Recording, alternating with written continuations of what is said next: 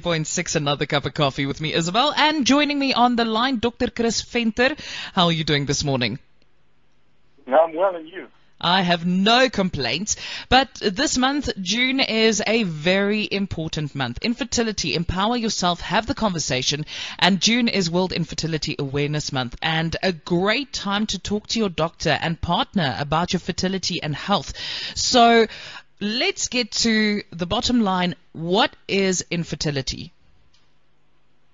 Well, basically, it's just when a couple uh, have been uh, having intercourse for about a year and was not able to conceive within that year. So the prevalence or incidence of that is about 50% of our couples. So we would usually advise a couple if you've been having regular intercourse, and we talk about regular intercourse about twice a week, and within a year's time, if you have not conceived, then um, you should seek medical advice because then you would fall within a 50% of the population who has not conceived. Um, so I think that is a good time to then to seek medical attention and just to hear about what is the reason for why you have not conceived. So, what's the prevalence of infertility? How many people does this actually affect? Well, so in our population, it's 15%.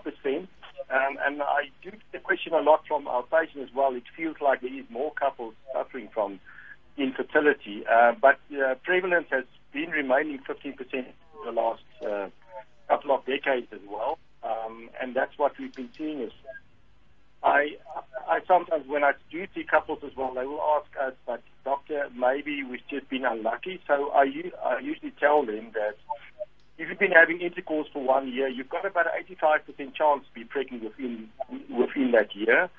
After two years of trying, you should have about a 90% chance, and after three years, 95%. So, so again, over time, if things do not happen, then you should seek attention just to make sure what what is the reason for you not conceiving. So. Okay, so obviously there would be tests that would have to take place to ascertain whether the issue would be with either, well, with which partner or both of them. Uh, what kind of tests are we looking at to determine whether infertility is an issue? So, I'm happy when you say both partners, because sometimes we just get the females that present to us as well, and they just say, but doctor, I cannot conceive and we should start doing testing. And then you do ask them, but has your husband or partner been tested?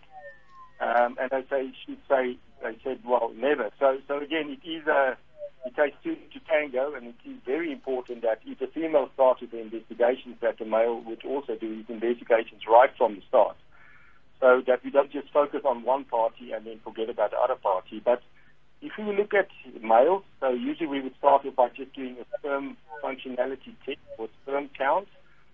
Um, and in the sperm count as well, we would be able to see, first of all, what is the volume that's being produced, what is the concentration, very important, how many sperm is there per ejaculate. And then thirdly as well, what does the sperm look like as well? Because sometimes we see if there's a lot of stress in the, the, the male, then the, the sperm also starts looking abnormal. And we know that sperm does not very easily. Um, so, so that's where we started in the males. In the females as well, it's just very important that we would just start with the basic test. This includes an ultrasound to make sure she's got a good normal uterus. And you can see that on the ultrasound. The second thing is then to look at her ovaries. And when you look at ovaries as well, you can see what is that female's egg count. And that this is very important. You get your chronological age, but you also get your fertility age as well. And on that scan, you can look at someone's egg count. And then thirdly as well, then what you would want to establish is that she's got open fallopian tubes. So usually we would just do an x-ray for that. Um, and then fourthly, it's just other basic, it's a thyroid gland, um, to, and to also do a test to make sure these females are ovulating. Again, okay. what we usually say for a female that if she's got a regular cycle, if she's got not excessive pain during the cycle, um, then she has very high likelihood that she's ovulating, and that um, we just then focus on the timing as well. So these are the basic tests, and then usually with a good thorough investigation, clinical examination, we can start excluding things like endometriosis that can also play a role in in um, infertility. So, so what would be some of those causes of infertility? So usually if just look at males and females as well, I think females, unfortunately 50% of uh, whether we would get a course, it is female related. In males, about 30% of them, it would be due to them. Um, and then 20% we would then say is unexplained. Uh, but I think what's very important to this as well that in 80% of the cases of couples that we do see, we can identify, of course, why they, this couple has been trying to um, conceive. Um, in 20% of the cases, yes, we cannot find an answer, but then ways of we how we deal with these, these cases as well. But if you just look at um, males as well, um, just with someone with a low sperm count, has there been previous injuries, previous medication, or is it just purely related to uh, work stress or smoking or being uh, overweight? And then in females, I think this is where we can sort of try and identify more issues and deal with them as well. So in 40% of the patients, female patients, the causes are when they are not ovulating, either due to polycystic ovaries or is it maybe a thyroid issue. Um, and these are the very easy cases that we deal with as well to say, well, let's start you on ovulation induction tablets to help you to ovulate. In another 40% of patients, it might be due to blocked tubes or it might be something like endometriosis, which we see in about 20% of our cases as well. That we know that endometriosis can lower your chance of conceiving and that after treatment, um, that there is a um, 50% of the patients will conceive spontaneously as well. So I think it is very important when you do see a couple is to make a diagnosis and um, just to make sure that this couple understands the reason. I think it's very fair in an era where people are well informed and there's a lot of uh, information out there as well to, to, to empower your patient to say, well, this is the cause. It's not something you've been doing wrong. This is the real cause of you not conceiving, and then to deal with those issues as well. Um, one thing that I do think couples find very frustrating is when they are just being given tablets to say, well, just try these tablets for six months or a year, and then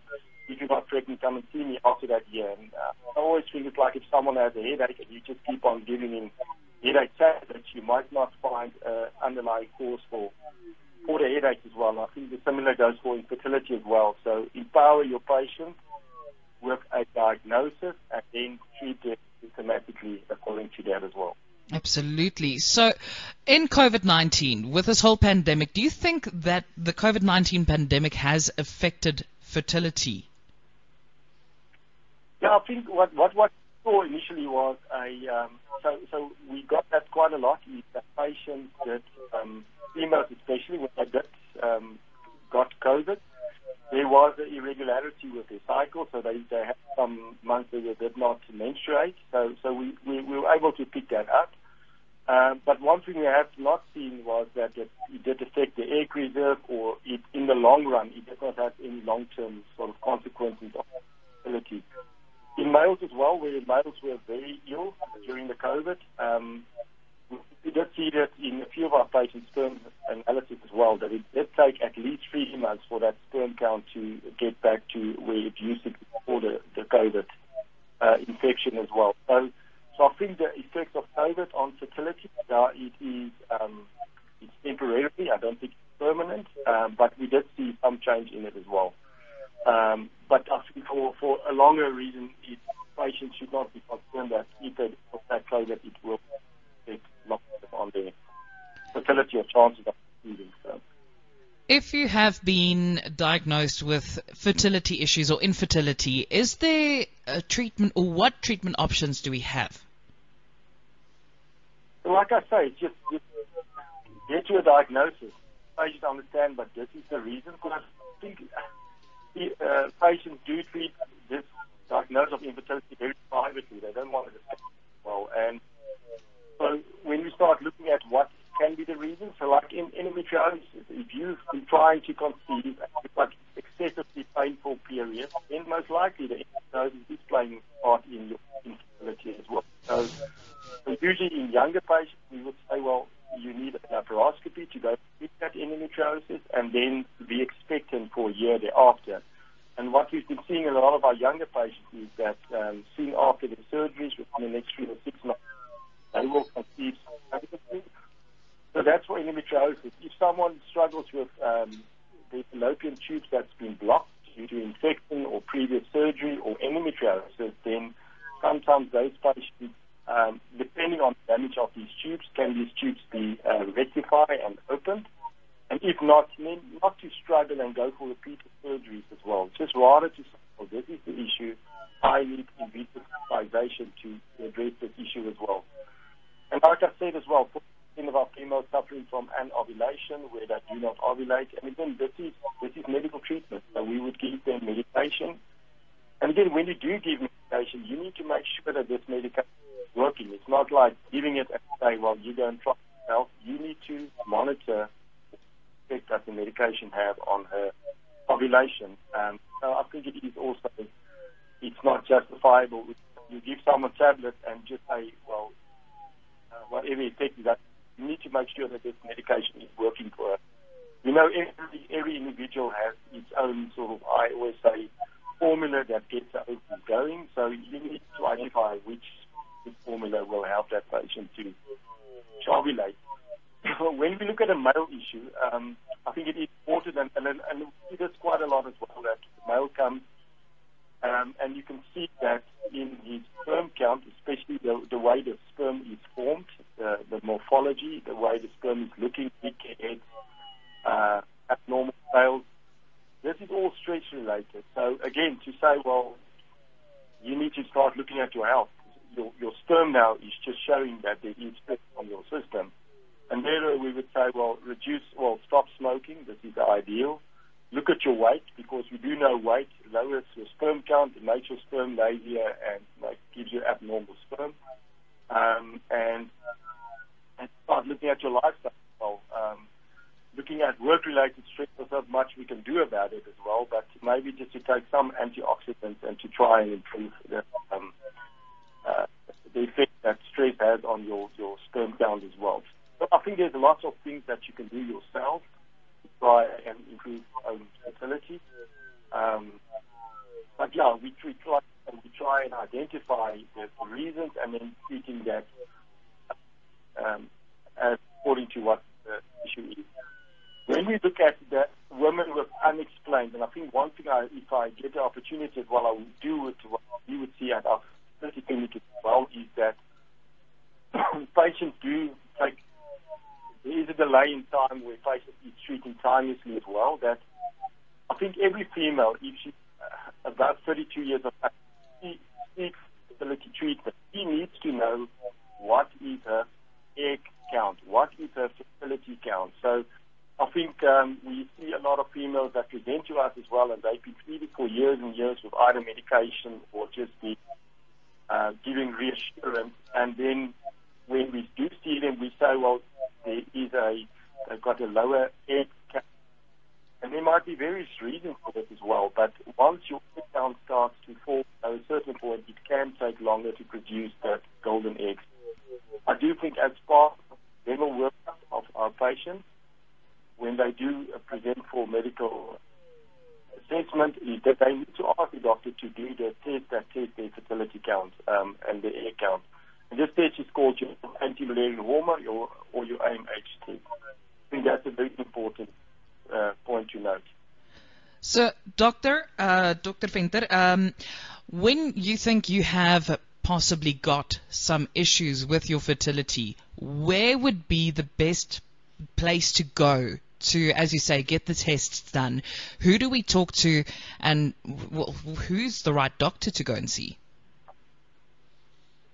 Think that's a that's a very important point. I know my father was was a general practitioner as well, and he was very good at doing certain things, which I'm for surely not. So, but I do think if you present to someone, your doctor, and most doctors um, have a very good relationship with their patient. They, the patient, I think it's very fair to ask uh, from your doctor, is doctor, do you feel comfortable in treating my fertility issue?